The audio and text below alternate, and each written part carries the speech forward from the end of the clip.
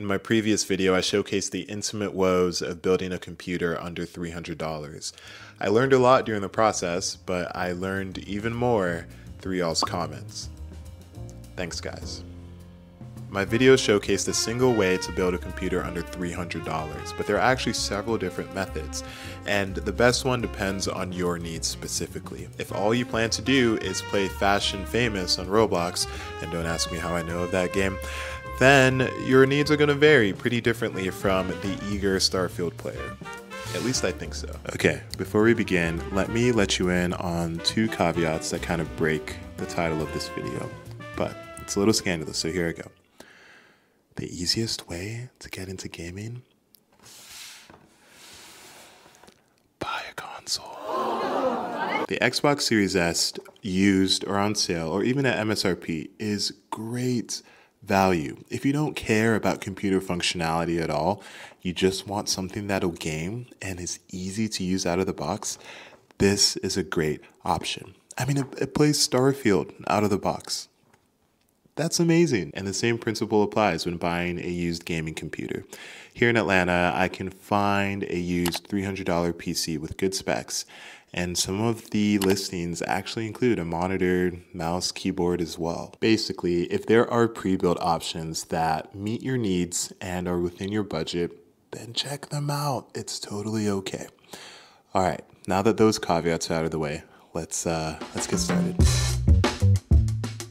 The first option is to just build a new computer for $300. For people that play games like CSGO, Valorant, Fortnite, and vanilla Minecraft, this is a decent starting place. I recommend the Ryzen 5 4600G APU, which is a processor and a video card smashed into one. Combined with 16 gigs of RAM of fast memory, you'll get yourself a pretty casual yet respectable gaming experience. And you can always add a dedicated video card later on once you've saved a little bit more money. This option also has huge potential because you are on one of the greatest platforms ever in computer history AM4. You have dozens of upgrade options, including the Ryzen 7 5800X 3D, which at one point was the greatest gaming processor ever. Now, I understand if you only want to buy new components, especially if it's your first time building a computer.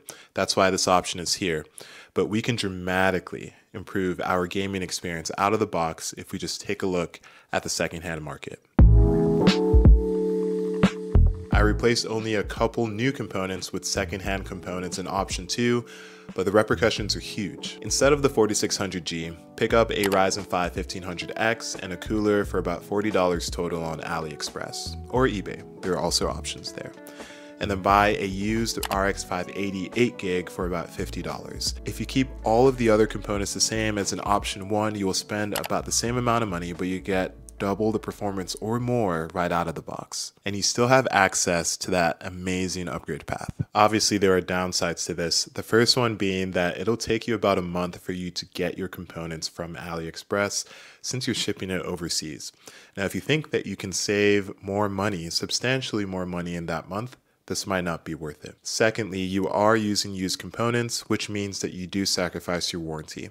I don't think this is a big deal because A, CPUs mostly outlive their warranties anyway, and this GPU is, for the most part, new. But if the used market and secondhand components doesn't bother you at all, then this final option is for you. If you want the best performance right out of the box, you don't really care that much about upgradability, you just want the best computer possible, I recommend this one. Our final option is buying a workstation PC and upgrading it.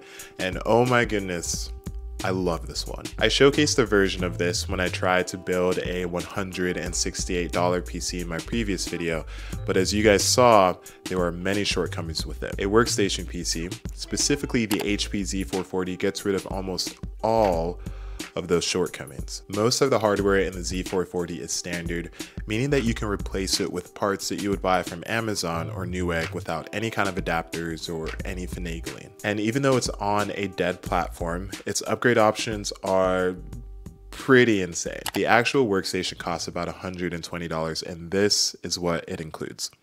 A modern 6-core processor, an ATX motherboard with 8 RAM slots and 5 PCIe slots, two of which are PCIe Gen 3 with the full 16 lanes, pretty phenomenal, 16 gigs of DDR4 RAM, a 700 watt power supply with 80% efficiency, and of course, everything is enclosed in a case. And because it's made for enterprise customers, it is crazy reliable.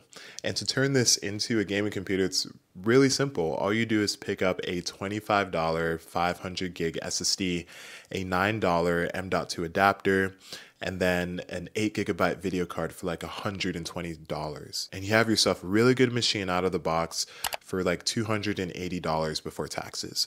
So not only is this the cheapest option on the list, but it's also the fastest right out of the gate. But even with everything that is available at your fingertips at just $300, you also have a fourth and kind of final option, and that's saving up and that's very valid. Holiday season is right around the corner, and with that comes a lot of really good deals and sales. And if you think you can save, let's say, another hundred bucks over the next few months, that might be worth it. And even if you don't put that money towards a better computer itself, you can put that money towards even a better setup, which is what I plan to do. I'm currently in the process of changing my entire setup because my needs have dramatically changed ever since I quit my software engineering gig about a month and a half ago. I'm currently a full time content creator, woo, and I'm also in grad school. And so a lot of things just have changed in my life. So I'm on the lookout for good secondhand and new deals to revamp my entire setup. Daniel Titchener is currently an inspiration of mine, and he is an interior designer that focuses on affordable design that still looks good and lasts you a long time. I kid you not, as I was finishing the script of this video, he uploaded a video detail in his new bedroom office because his life circumstances as a dad has changed and he needs his setup to be conducive of that. He showed a cool setup that was equal parts functional and aesthetic, and I got to watch it early for everyone else on Nebula. Nebula is a streaming platform made by creators and it allows us to just make good content without thinking too much about click-through rate or, or titles or thumbnails or other potential distractions. On Nebula, you get early access to content like Daniel Titchener's bedroom office makeover tour video. And then there are other things as well, like Nebula Originals or Nebula Classes. A really, really helpful class right now is Business 101 by Thomas Frank because as I'm transitioning to full time content creation, knowing my numbers and admin stuff is extremely important. Nebula supports me and my friends on our full time journey. And if you're interested, then you can actually pick up a lifetime membership on Nebula using the link in the description. And in an age of subscriptions, this is honestly a really cool offering. Now, I know that won't work for everyone, so you can still try out the annual subscription and see how you like it. You get 40% off using my link, which is also in the description, and it totals to about $2.50 a month, and it really helps. So, to my current Nebula subscribers, thank you. And to the new ones, welcome. And also thank you. But that's it for this video, guys. If you guys liked it, then leave a like, and if you loved it, share, subscribe, all of that fun stuff. And let me know what you think of my different builds, and if there's any that I'm missing. This is a community driven video, and I think the community has a lot to offer. So if there are other things that you would change, post them down and I'll try to respond to them. All right, I think that's it. I'll see you guys in the next video. Peace.